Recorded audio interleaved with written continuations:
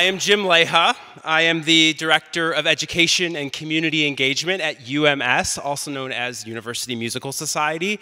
I also happen to be a proud alumnus of the Penny Stamp School of Art and Design, class of 2007.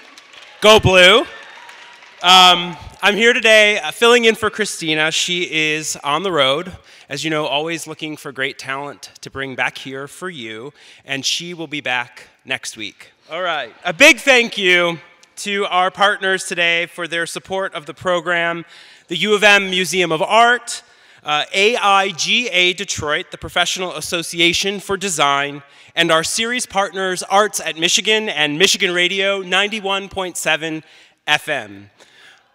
Thank you to our sponsors. Yeah, it's okay. Give them a round of applause. They make all of this possible. All right, a few announcements before we get to the fun part. Um, today's International Fair in the lobby of the Michigan Theater is a chance to highlight the importance of international education at the Stamps School, where all students are required to gain international experience. I myself went to Suriname on a trip led by Nick Tobier. Uh, the school is proud uh, to announce its summer 2013 programs in Tanzan Tanzania, Japan, Italy, and Indonesia. Additional information on these programs will be emailed to students. Uh, finally, the international exhibition in the Warren Robbins Gallery opens tomorrow afternoon. The show highlights work created or inspired by students' experiences on their international trips. Next week, Chris Jordan will be with us uh, as the featured uh, artist and presenter. The lecture is presented in conjunction with a U of M campus-wide exhibition taking place in the Stamps School of Art and Design's John Paul Slusser Gallery with select pieces at the Ross School of Business, College of Engineering, Institute for the Humanities, the School of Natural Resources and Environment, and Palmer Commons. You'll find flyers in the lobby with a map of location, so please check out the exhibition and join us next week for the artist lecture. Just a reminder, there will be a Q&A with Stefan directly following the presentation in the screening room around the corner and to the left as you exit. Please turn off all of your cell phones, your laptops, anything that makes noise, vibrates, you know, whatever. And now, to properly introduce our guest, I'm going to invite uh, one of our own professors, the Pulitzer Prize winning photojournalist, filmmaker who recently premiered his new film, Shenandoah, and Associate Professor of Art and Design, David Turnley.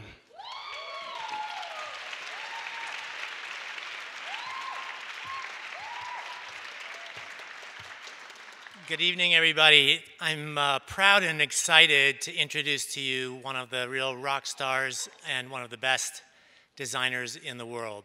Before I do that, I want to preface that I actually, in an interesting way, got to know Stefan long before, as a friend, long before I had any clue what he actually does in his life professionally.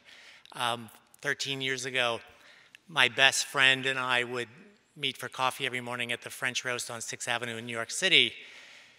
And one day, my friend brought along this tall, lanky, six foot five Austrian named Stefan around seven in the morning. And it, it seemed that turned out that Stefan and my friend George would meet once a week and go for long walks or runs. And then I found out that actually my friend George, who'd been sort of a world-class marathon runner, um, at the request of Stefan, uh, decided together to spend what effectively ended up being a year training for a marathon. And I know that for Stefan, I could see as we talked and followed this over the next year that this was for him like climbing Mount Everest. Um, and he was so excited about it. And so on the day of the marathon, I decided to go up to Central Park and try to be at the finish line um, with my camera to make some pictures of my two friends, George and Stefan. So I, I got up there at about the three hour mark, thinking I'd probably have a little bit of time. Well, it turned out actually there were a couple more hours that I stood there. Um, and at about five hours, sure enough, I see coming around the corner these two friends of mine, both wearing matching white t shirts. And on the white t shirts, they each had the names of their then girlfriends. In Stefan's case, it was Annie. And here's this six foot five man trudging along, barely making it, and this wonderful, exuberant, enthusiastic American audience seeing the name Annie thought, they all thought that Stefan's name was Annie, and they're cheering, Go, Annie! and so suddenly I see this, again, this very tall man with these very long arms, like the rock star he is, high fiving all of his American audience. Um, as I evolved in my friendship and became very aware of just how unbelievably talented um, Stefan is, uh, after 20 years of photographing Nelson Mandela, after his release from prison, I was publishing a book, and Stefan unbelievably graciously offered to design the cover. And he said one day, So here's what we do come over to my rooftop studio in Chelsea, and I want you to bring a stack of photographs, and we'll sit down and we'll look at them and we'll talk. So I did. And the experience sort of went like this. All of a sudden, I got there, he poured me a cup of tea, and we sat down, and he sort of suddenly transformed. This, um, this friend of mine suddenly went into this kind of very focused, uh, Zen like sort of quality. He started going through the photographs in a very concentrated way.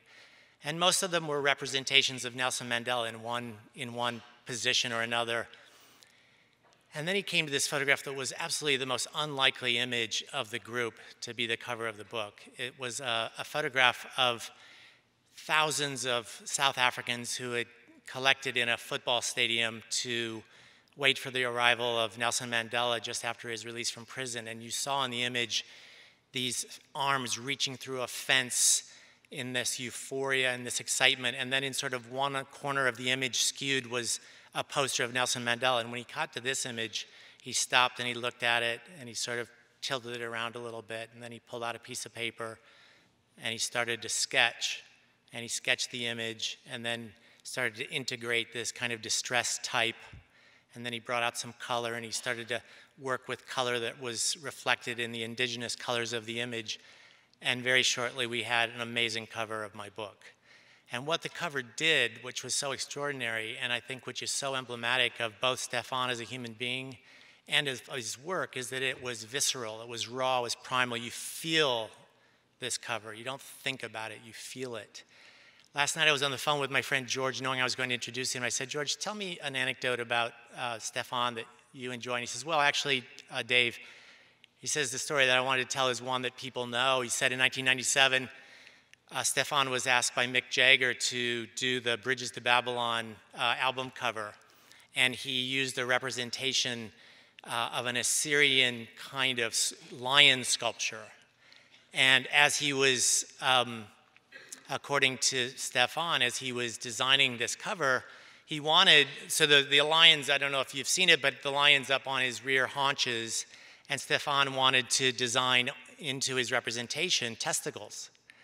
And then he thought, oh, I don't know. Um, I think probably the decorum and the protocol of, of mainstream album covers probably shouldn't have testicles. And the cover was done, and, and it became an incredible success. And the Stones were over the moon about the cover. And several months later, Stefan uh, shared that he had uh, been with Mick Jagger, and Jagger says, Stefan, God, I love that album cover. It's like the best album cover we've ever had. I just wish you'd put balls on the lion. And Stefan decided at that point that never again in his methodology would he, in fact, self censor his impulses, that he would wait for a client to push back, not himself. Stefan Sagmeister was born in Austria and lives and works in New York. He, was, he has worked for the Rolling Stones, the Talking Heads, Lou Reed, the Guggenheim Museum, and Levi's. Exhibitions on Sagmeister's work have been mounted in New York, Philadelphia, Tokyo, Osaka, Seoul, Paris, Lausanne, Zurich, Vienna, Prague, Cologne, and Berlin. It is my honor to introduce to you my six foot five dear friend, rock star, and one of the best designers in the world, Stefan Sagmeister. Thanks, Eddie.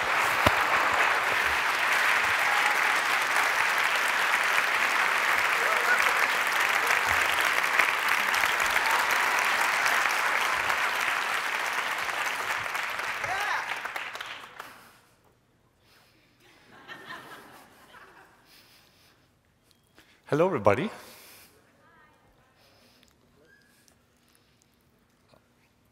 As uh, David so nicely already said in the introduction, uh, I'm a designer. I run a small studio in New York City.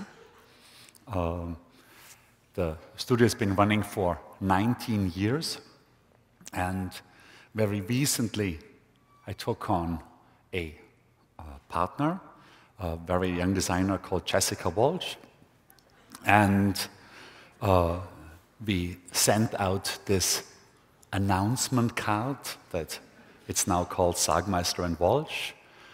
Uh, that's if you were wondering where the balls from that story went from, uh, from the Assyrian lion, that's probably where they are.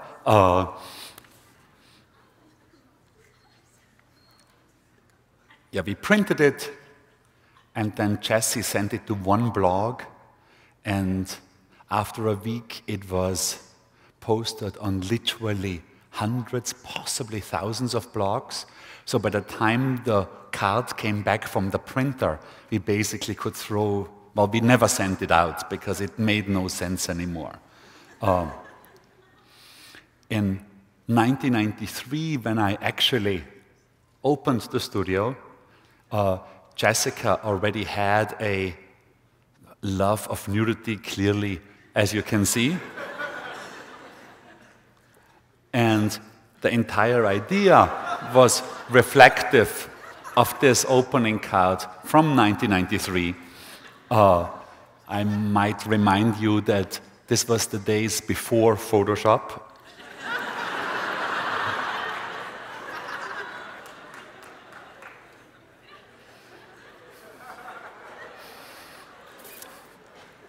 And I found, uh, I'll talk later about these in the uh, in these 19 years, every seven years, I uh, take a sabbatical a year out to really explore things that we don't have time to explore when the studio is running full time. And in my second sabbatical in Indonesia, that same friend that David had just mentioned in the, uh, in the opening, George, had come by in Bali looked at all the stuff that we were designing, which at the time was furniture, and sort of said, that looks pretty dinky to me. I think you're wasting your time. And I didn't really want to hear that at the time. Well, I probably never want to hear that, but I had to concede that he had a point. And I was thinking for a number of days what it would make, what it could be that would be a better use of my time, that would be somehow more meaningful. And the idea to create a film on happiness came about, mostly because I had given a talk on design and happiness before that all of us had gotten good feedback. So that was the decision, and because I was in Bali and because I'm a graphic designer, I started with the titles. Uh, in this case, uh, this is my neighbor John's pig that is doing the typography. And it looked okay, but maybe a little bit too funky, but we were in Bali and only five minutes away from the monkey forest, so we could have a bunch of monkeys, you know, do three separate words properly. Uh, you can see they already got the film. Do they get the other stuff correct? Yes, they do. Uh, and it, you know, I mean, from a pure typographic point of view, you know, the tracking and the A between the A and the P is not perfect, but uh,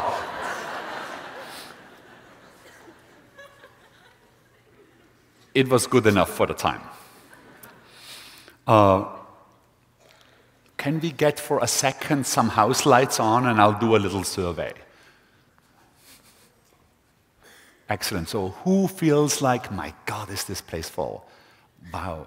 Well, thanks for coming. Uh, uh, who feels, who is a zero? Who feels like shit? Nobody in Ann Arbor feels like shit. Uh, number two, who feels pretty bad? I think somebody in the back. Two people, pretty bad. Who is bored? Number four. One, two. I'm like five minutes into it. You guys are already bored? Uh, things are okay, number six. That's clearly 100 people. Uh, I feel good, number eight. Wow. That's at least 500, 400. 10, I love life. Oh my God. That's another 300. So about 200 of you feel absolutely nothing. the rest, pretty, pretty fine. Okay, we can kill the lights again. And uh, I, of course, already knew that you guys are going to feel pretty good. Uh, the United States is, while not the happiest country, definitely quite, uh, quite up there, uh, always behind Switzerland and Denmark. I'm normally not one for definitions, but because the subject is so gigantic, I'll quickly talk about it. What I find what I found helpful is to define it by length of time. So you have very short-term happinesses like bliss, orgasms, joy, pleasure. You have mid-term things, things like spending a satisfied afternoon. And then you have long-term things like finding what you're good for in life, you know, really fulfilling your potential. From a different point of view, it's as an individual, I can look at it as an activity. So the pure fact that you came today at quarter past five and decided to go to a lecture, no matter what, if that lecture is good or bad, was already a decision that has a good potential to make you happier simply because it's non repetitive. I assume you didn't go to a lecture yesterday afternoon, at least not on the same subject. Uh, life conditions play, of course, a role. Where do you live? What do you do? All the big things. But plays a surprisingly small role. And then you have genes. A lot of psychologists think that it's basically 50% that genetic, that you are born, that how you like the way that you're born uh, is responsible for about half of how happy you are. The reason they think so is from twin research. What you see here is two identical twins separated at birth. This is the most, this, the, the most famous pair of them, but there is enough of these twins out there, identical twins separated at birth, that are to allow proper scientific research. The giggle twins are famous because they have the same laugh and they, are, uh, they only met in their 40s. Uh, one grew up in the south of the UK, one grew up in the uh, uh, north of London. Uh, lower middle class, upper middle class. Uh, they have the same laugh. They had a miscarriage at the same time. They both married husbands that that they met at a church dance, and probably most eerily, eerily is that when a researcher asked them separately to write down the first sentence that would come to their minds, uh, Daphne, the one on the left, wrote down, The cat sits on the map, but she misspelled cat. She spelled it with an S, so she wrote down, The set sits on the map, which makes no sense whatsoever. And her twin sister wrote down the same sentence with the same spelling mistake. So this is quite voodoo like uh, when it uh, gets to that. And I, one of the reasons that I was interesting in doing a movie like this was because I knew that it's going to force me to do research that I wouldn't do if I wouldn't have a project. So I'll sum up about three dozen books on uh, the subject in 45 seconds. Women are as happy as men. Climate plays no role. People in Buffalo, New York State, shittiest climate in the United States, uh, are as happy as they are in San Diego, best climate of the United States. Money plays only a role up to 50, that's just been up, up to $75,000 a year, meaning that after that, it's the, uh, the happiness difference is too small to be measured. This comes of a giant uh, survey from Gallup with 650,000 participants. Race plays no role. Uh, white people are as happy as black people. Age plays a tiny role. Older people are a little bit happier than younger people. Ugly people are as unhappy or as happy as supermodels. Uh, surprisingly, health problems, as long as they are manageable, play a very small role. And here it starts to really change. If you're very outgoing, if you're an extrovert, if you're sociable, if you have a lot of friends, and if you have good friends, you are happier. If you are religious, you are happier. And if you are married, you are happier than if you're single. So right now I am single and non-religious.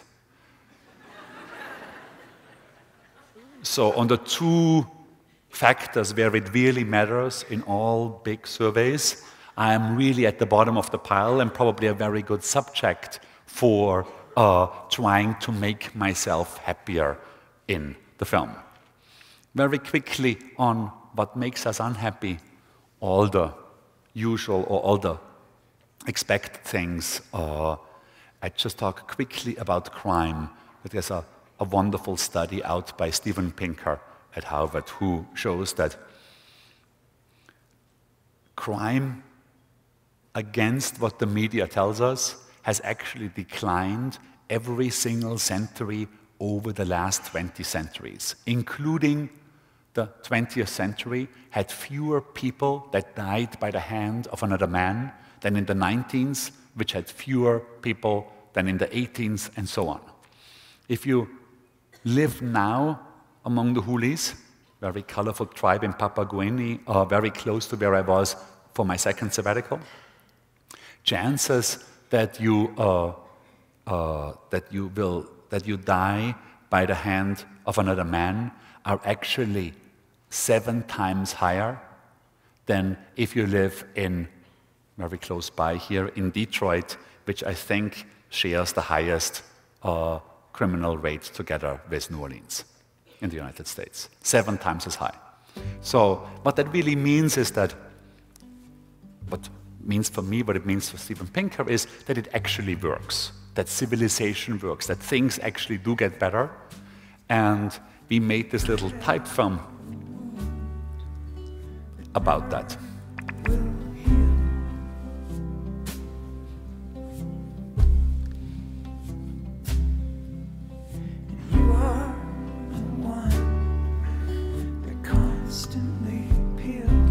This is not CG, this is all shot in camera.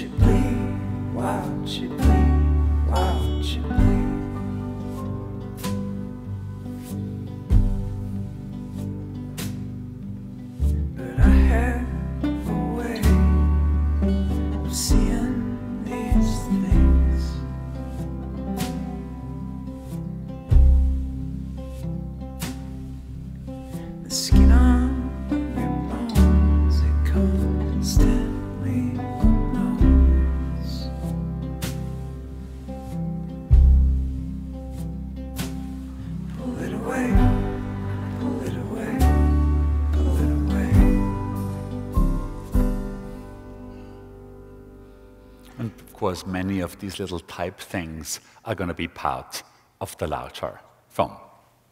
Of the aforementioned three dozen books, this was my favorite. If you're only going to read one book on that subject, that's the one that I recommend. And I was lucky enough to meet its author, and because his wife is a designer, I managed to talk him into becoming the scientific liaison, the scientific advisor uh, for the film. Uh, he came right out and said, in his experience, the three most valuable and effective strategies if you want to uh, increase your own well being are meditation. So I went back to Bali, meditated for three months. Cognitive therapy. I stayed right in New York, looked for a little while for a great therapist, and went into cognitive therapy, also for three months, and left the last one for last, drugs, simply because it's the easiest. I was for three months on Lexapro and surprisingly enjoyed the experience.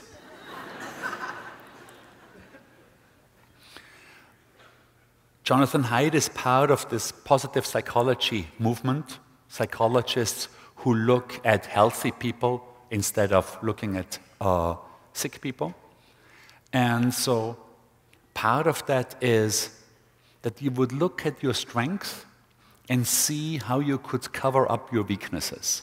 And very quickly, we figured out my weaknesses. Thankfulness. I really never was a very thankful person, and I found that I could change it. I got much better in that. Sympathetic empathy, another one of my weaknesses, much bigger subject. Uh, I won't get into it.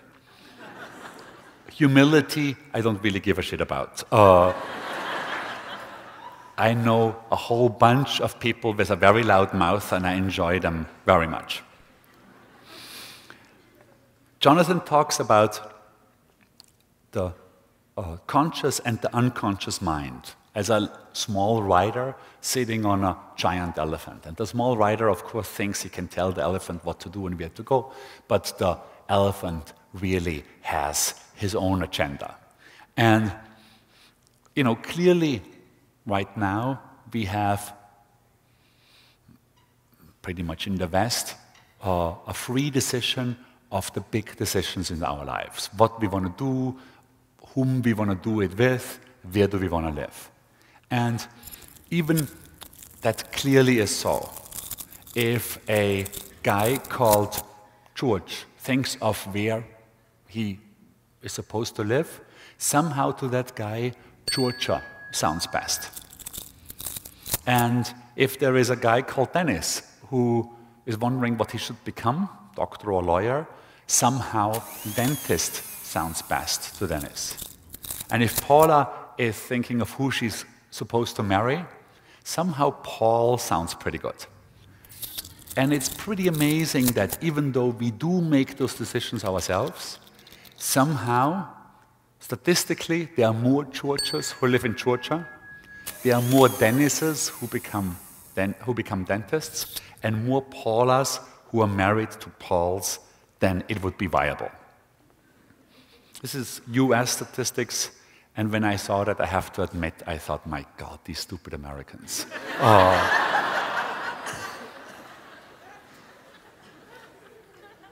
How can they get influenced by something as silly, you know, as a name that sounds similar to another name?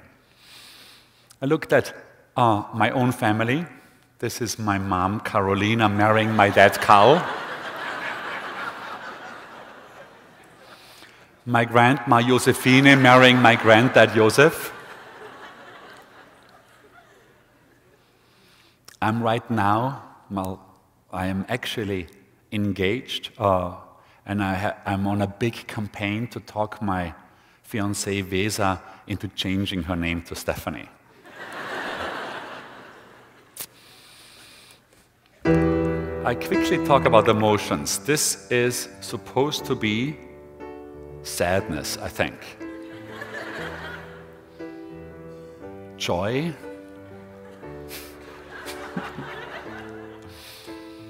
Disgust. Surprise. Anger. And fear. now, if you've paid attention, six main emotions. Only one of them is positive. The rest is either neutral or negative. And what that means, it's also it's one of the reasons we have a negativity bias. Uh, we enjoy negative things and hearing and reading about them much more than positive things. It's the reason why every attempt to make a positive newspaper failed after a week or two simply because we're not interested. It's the reason why, if I read a blog even about our own work, it can be 50 positive comments. If there's one negative one, that's the one that I uh, zone into. And if I look at how we live our lives in general, at least in the West, you know, it's roughly 25 years of learning, then there's another 40 year period of working, then there is 15 years of retirement, and then we basically die. Uh, if you're a woman, you have another two years, and then you die. But uh, you definitely will die. Uh, my idea is to take five of these retirement years and put them into these working years so that one thing, it's a lot of fun. Second, whatever I create in these single years actually flows back into my work and therefore into society.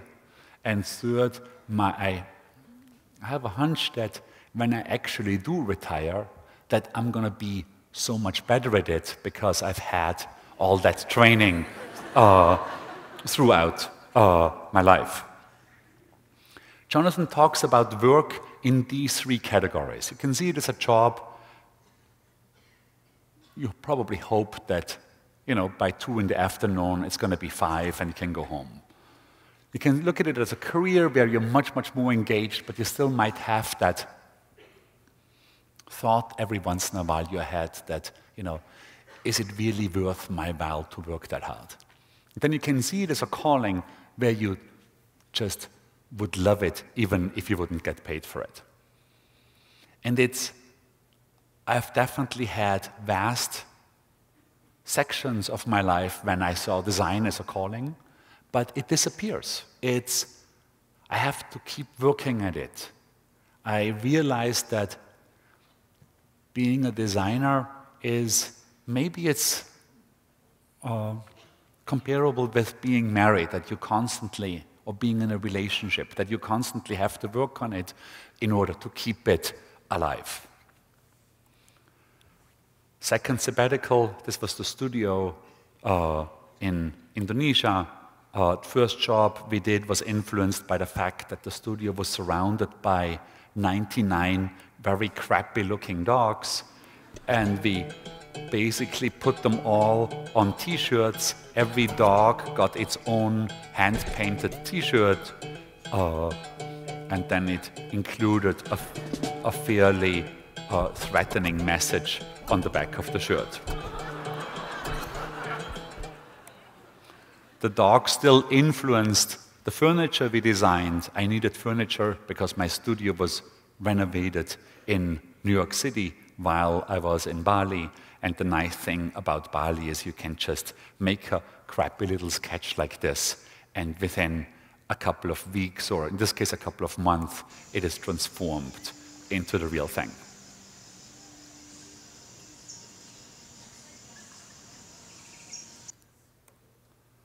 Uh, still the dogs.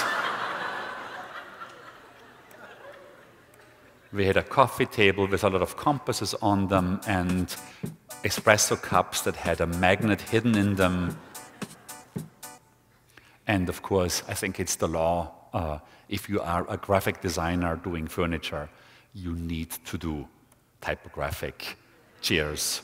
Uh, here is my version, and I'm actually in two weeks' time gonna go to the Philippines where we're gonna do a not a mass production, but a proper uh, production for a large furniture company of this chair.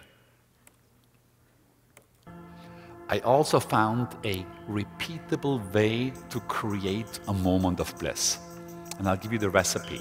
Nice landscape, a, a road with little traffic so you don't have to wear a helmet, a MP3 player with 10 songs on them that I know but don't know too well, so they don't have a lot of baggage. And very important, no purpose, just driving around for the sake of driving around. And every single time I could I would have shivers going down my spine. It didn't work when I did it as a commute, when I had to go somewhere else, but every time when it was without purpose, it worked. And I think that I'll do much more work in the future going in that direction. From the sabbatical, maybe the most surprising one was that number three, uh, that even from a financial standpoint, it worked because so much ideas were created in the sabbaticals that then also commercial clients wanted that we could actually raise our prices and make back the money that we didn't make uh, while not working for clients. If I ask this question, of course, the easy answer is do more of the stuff I love to do and less of the stuff that I hate. Uh, in order to be able to do that, I would need to know what is it that I actually love to do, and I'll show you eight or nine points. One would be to be able to think without pressure. Uh, in this case, BMW gave us a year to do a book about their cultural program, and we came back with a book that had a remote control, so you could drive it around. Uh, it is not much deeper than that. That's basically it.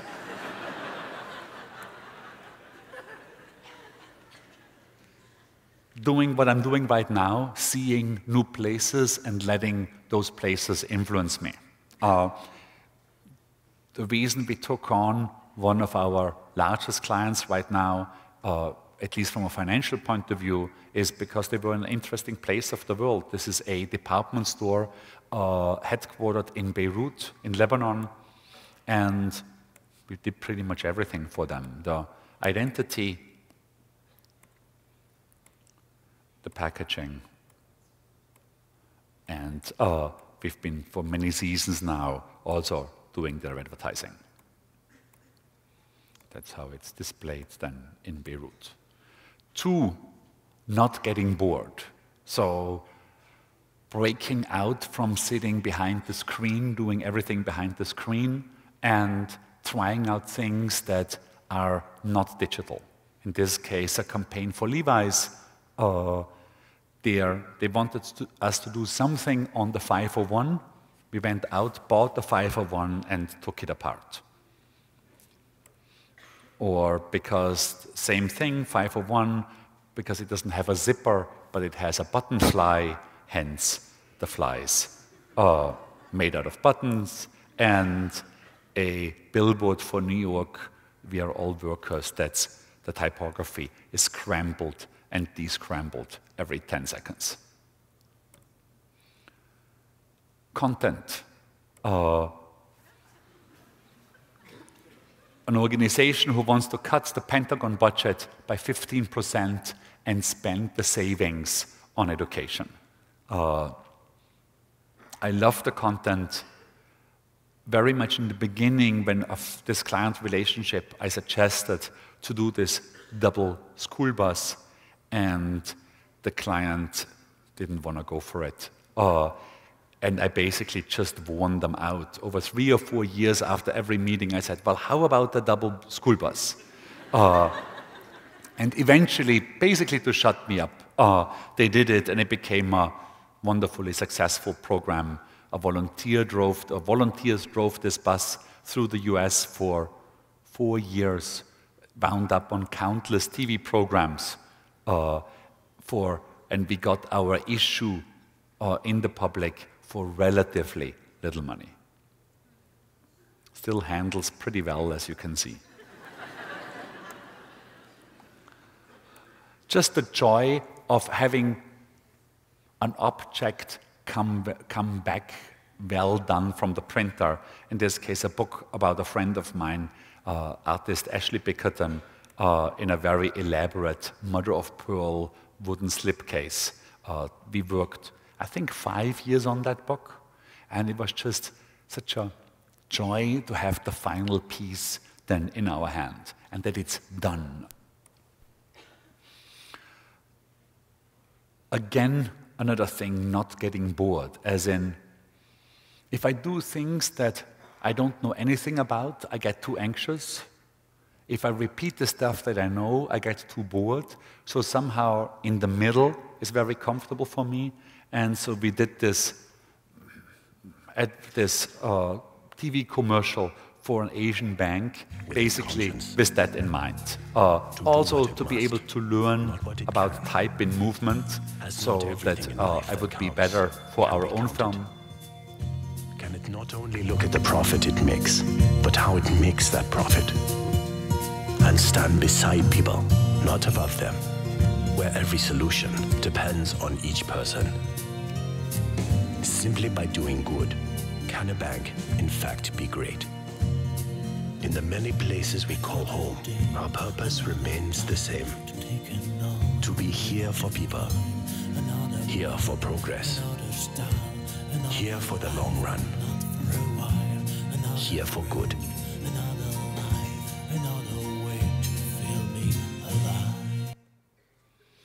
Uh, really getting to know a project by looking at it from all levels. So in this case, an identity project for Casa de Musica, a music center in Porto, in Portugal, built by Rem Koolhaas, the Dutch architect. We put a mask on it, looked at it from all angles, west, south, east, north, got these six shapes, colored them in, in a very peculiar way by having a friend of mine write a uh, Casa de Musica logo generator machine, which is basically just a piece of custom software in a scanner. You put, let's say, a Beethoven image in the scanner, you get these six Beethoven-like logos immediately. If you have to design a Beethoven poster, the logo down here will always fit conceptually, but also visually, because it's the same thing. It comes from the same visual and conceptual information. If Frank Zappa's music is performed, logo looks like this. If it's the Chemical Brothers or Lou Reed, they all get their custom logo. Or in-house, let's say the president or the musical director gets their Casa de Musica portrait in a logo on their business card. And the sub-brands like the symphonic orchestra that lives in the building looks like this, or a smaller avant-garde orchestra looks like this, and all the advertising could be done with using just these shapes. So you have Chopin, Mozart, La Monte Young. You can take the shape and make typography out of it. You can grow it underneath the skin, put it outside in a, in, uh, a more, for a more family-oriented event, underneath the parking garage for a rave or a weekly uh, uh, program. And last but not least, getting feedback from people. So in that same reign of the Happy Film, we also created a good number of exhibitions. This one was its first, in, first stop in uh, Philadelphia, and we, they originally had given us two nice exhibition rooms, but we said, so what's the story? What are these, all these other spaces? Like the wheelchair ramp that you see here. And they said, well, you can use those too. So we did the show, we did extend the show into the toilets, into all the hallways, onto the balconies, onto all the nun spaces. And on the wheelchair ramp, we basically, I cherry picked my favorite research from those aforementioned three dozen books Companionate Love versus Passionate Love you see passionate love after six months being much more superior. But when you look at it from a 60 year point of view, going down pretty badly. Or another interesting piece of Steven Pinker research number of sexual partners among homosexual men and women in San Francisco before the AIDS crisis, meaning people who could behave however they wanted with no repercussions 75% of gay men had over 100 sexual partners, and 2% of gay women matched those. Over 28% of gay men had over 1,000 sexual partners, and 0% of gay women had that. I told this statistic to a, my gay friend in Bali, and he looked at me and said, What, uh, what uh, like a year?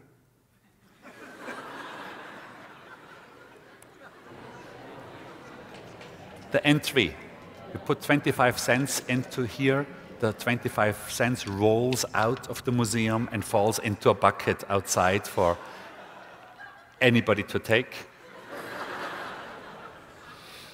you push a button, a card comes out, it gives you instructions on how to behave while you're in the show.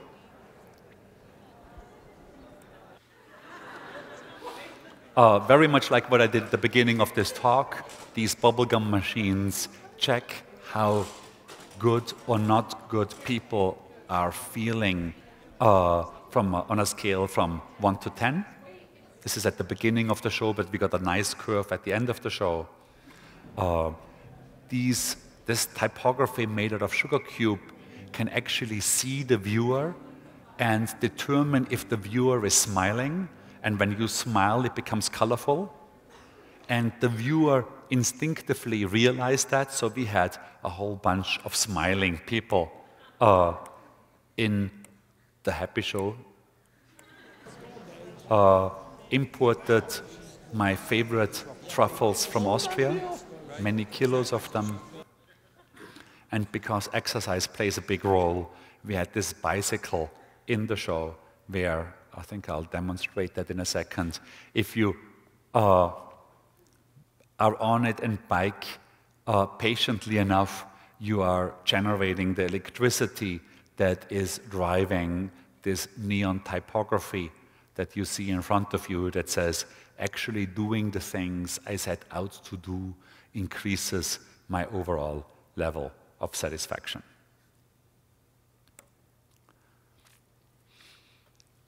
So I'll quickly ask you to look at these cards and remember one. Pick one and remember it. Everybody has one? The eight or nine rules that I showed you before. Of course, if the easiest to become happier as a designer would be just to follow those rules. The difficulty with it is that it's unbelievably difficult for me, but I think for many other people too, to actually know what makes me happy in the future. One of the reasons is presentism, that I always only look at it from my own point of view right now.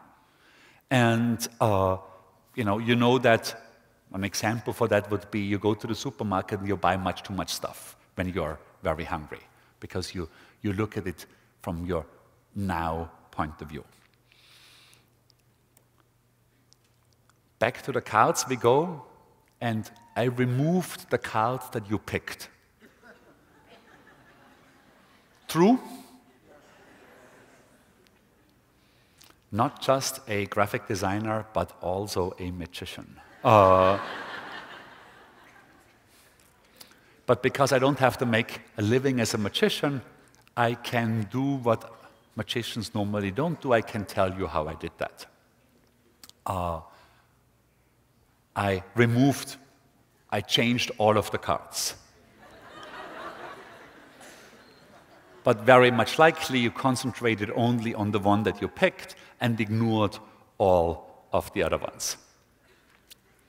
So after all this, I actually did bring you 12 minutes, a 12 minute sort of like shortcut of where we are with the film. I mean, we are much further with the film, but this is the only part, or one of the few parts that we started editing on. And I'll just run that, and then I'll be back for, it's 12 minutes, and then I'll be back for a minute.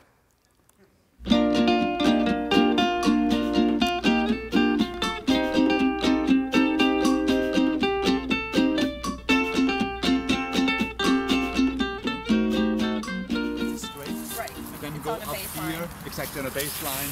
Yeah. Yeah, just a little height.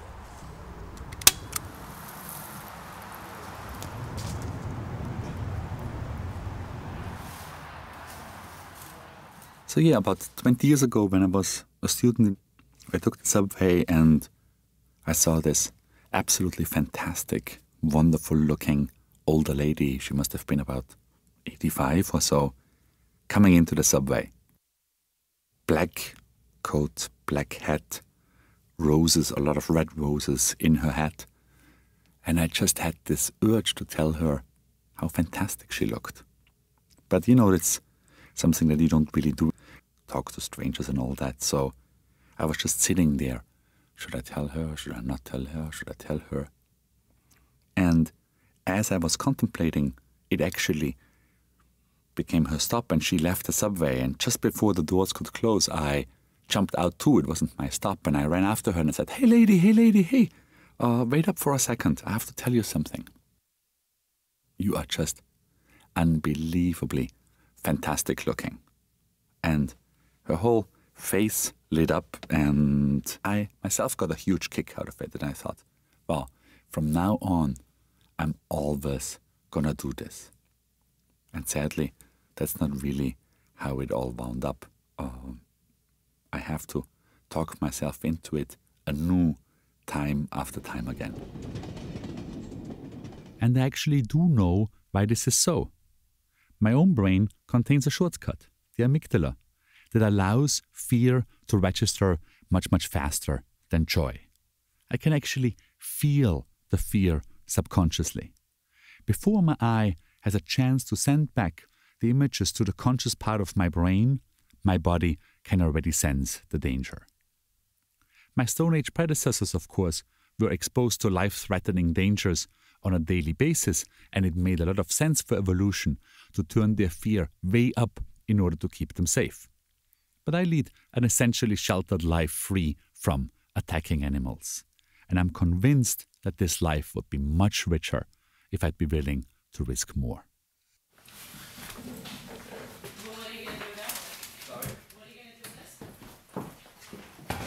That's not bad. That's All good. right. That's good. Yeah.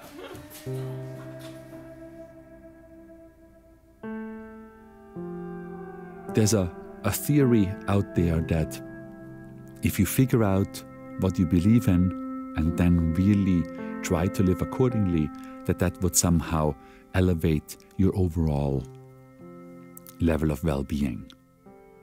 When I first thought about making a movie about my own happiness, I was actually in a fairly happy state myself. I'm, I think, by and large, if I look back on my life, I've been always fairly happy. I'd say, I don't know, an eight maybe out of uh, 10. I mean, I guess in a way, I was always interested in somewhat improving my own life. Uh, I don't know, on a very low level, starting with a diary that's almost, you could call it like an itsy bitsy mini meditation every week. Uh, or I've been grading myself since a fairly long time, where in the beginning of the year I would pick about a dozen points that I want to change about myself and then would make weekly ratings on how I did that that week. And it's just been the last year, basically, that things changed quite radically. In the very beginning of the year, my mom died. Uh, that was a, a, very big deal for me because we are very close. I'm the youngest of six kids. Uh, and maybe because of it, I'm not quite sure, uh, maybe because of the, the stress of that, I picked up a very chronic infection in the in the prostate that has as one of its main side effects just a you know fatigue, uh, a lameness, uh, possibly even something that's bordering on on depression that uh, I can't seem to shake, and I've had it uh, you know pretty much all throughout the year. The film really is trying out to see if it's possible to train my mind in the same way that I can train my body. I ran a New York marathon once, even though I'm super unsporty. And by training for a year, I got much, much, much better in running. And I just want to see if the same thing could be true for the mind.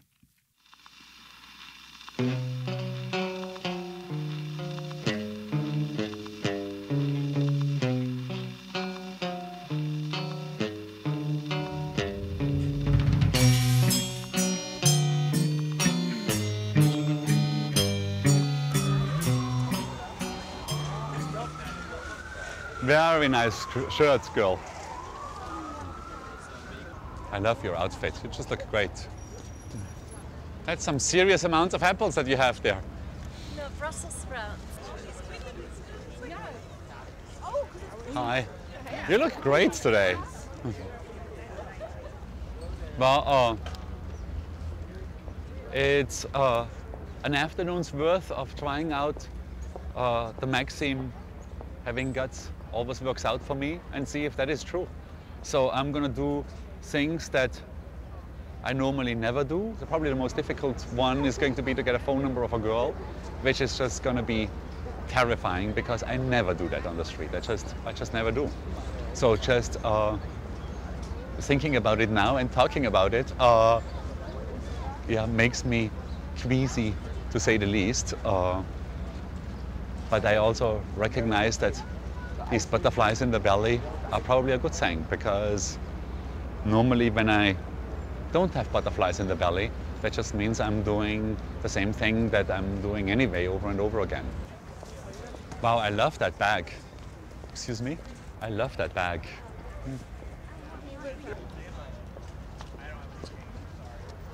Wonderful shawl you're wearing. Can I give you a flower? Oh, it's I think it, no, but look, at look, it, it matches perfectly. Thanks a lot. Yeah? Thank you. Thank you. Yeah, this is so much more difficult uh, than I thought. I mean, this took like 15 minutes just to get rid of a flower. Uh, well, let's see. Maybe I'll do better with the second one. Hi, sorry for interrupting, but you just look fantastic. I'm sorry, I see you're texting, but I just have to comment on your jacket. That is just the nicest jacket I've seen all day long. It is just Thank great. you. Yeah, Thank excellent. you. I mean, it's old. It's like it's not bad because it's lined with soap. Can I give you my card? Can I would love to get together for a cup of coffee at one time. Look, and I have a flower for you.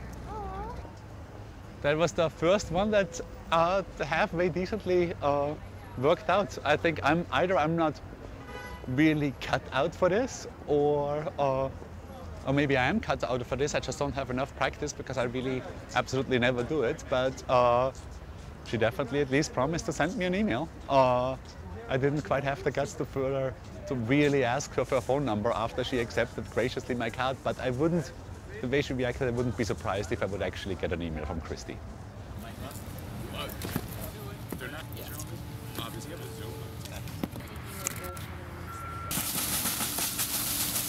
We're gonna need the ladder. We're not doing the, that. What I didn't see in your portfolio is that there is nothing in it that has a lot of information that's well done. This actually has a lot of information, but it's not well done. Yeah, not one of your strongest pieces. I think this is great. So I've been doing the salons where designers who just called in and wanted to meet me uh, all come together at the same time and they show their work and I critique it. Or for a long time it was just too easy. Like I said, oh, this is nice, oh, this is great, oh, this is lovely, and didn't really give a honest and sometimes harsh review Yeah, of it. I hate the menu. It's, it's so, so strange. It's like, this is good and this is terrible. and I thought it was just a waste of everybody's time. So now I'm really trying to be much more honest.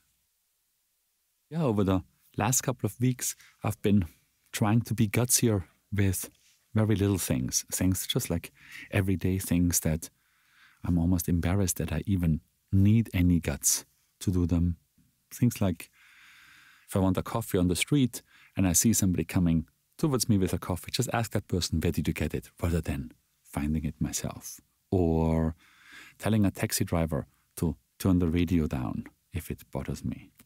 Uh, you know, I've been known to sit in a taxi and just endure it. And some of this stuff has been tough. I mean, definitely the getting the phone number of that girl was by far the toughest of all. And most of it actually did make me feel better in the evening.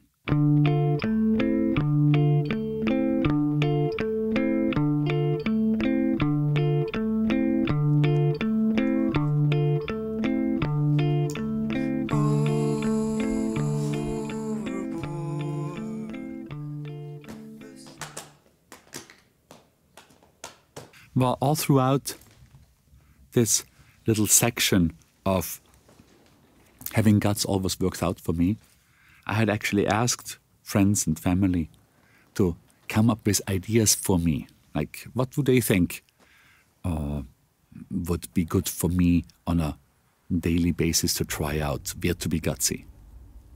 And I've, been, I've one very close friend in Austria who wrote that I should tell people that I know and like something that I always wanted to tell them but didn't quite have the guts to do so. Well, this friend is in Austria, and I'm actually going back to Austria right now. And, well, who knows? Maybe I'll be able to come up with the right opportunity or the right situation to tell her something that I wanted to tell since a long time.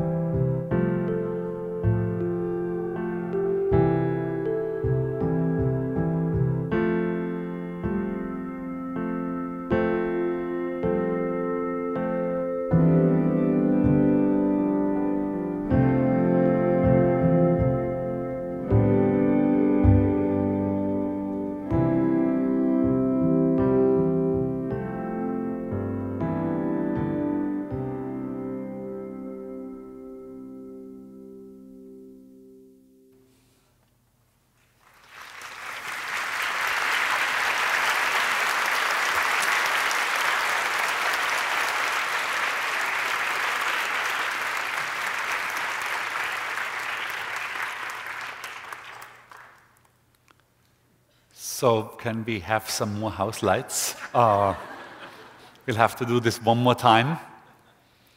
Zeros now. Who feels like shit? Did not increase. Uh, number two, pretty bad. Number four, who is bored after this whole hour? They probably left, those bored people. Things are okay, number six. Who feels good, number eight? Wow. And who loves life, number 10? That is pretty wild. Uh, now, I, of course, have to admit that I don't think that I can expect that the film, definitely not the 90 minute version, would actually make people happier in very much the same way that I don't expect watching Jane Fonda exercise would make me skinnier. Uh, you probably would have to, but my, my hope, of course, and maybe the main reason to do the film in the first place is to, uh, that the hope would be that some people would like to work on this or do the exercises themselves. Now, one of these exercises that I found, and I just started it about a month ago, that I found extremely wonderful and very easy to do is uh, one that deals with the negativity bias that I had mentioned before. That we feel uh, that we are more attracted to negative things than positive things. And in my case, and but I think in many other people's cases, is that during the day, the stuff that goes bad somehow has a bigger influence on me than the stuff that goes well. And Marty Seligman, who is maybe the most prominent of the positive psychologists, he actually started this whole field and was at one time the head of the psychology organization of the United States. I think I just known that, but uh, uh, in any case, he's a, a, a, prominent guy in his field, uh, teaches at uh, Penn, uh, uh, at the University of Pennsylvania in Philadelphia, so he came to the show and I got to know him. And his thing is that every night before you go to bed, you should write down three things that worked that day. And I started that about a month ago, and it's good. It's, I found that to be really helpful. For one thing, that for one reason, simple reason, because I think about some stuff that's positive before I go to sleep that might influence what I'm dreaming about. But also just, it actually, I was amazed that I had very little difficulty to actually think about three things every, every evening that were kind of wonderful or that I had some sort of reason uh, to be thankful for. And of course, you can feel that this is all bullshit. Uh, and I wouldn't blame you. I'd give you two chances. One is uh, with a quote by uh, this wonderful French philosopher and mathematician by Blaise Pascal, who says that basically everything that we do is geared towards that, that we want to be happier. Even the person who kills himself does it because he thinks he's going to be happier dead. And if you still think that's bullshit, then you can always go and visit this guy.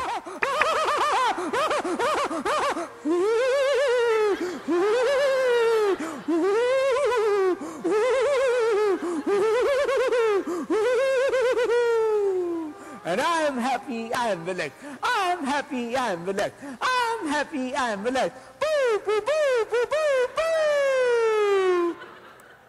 Thank you. Thank you.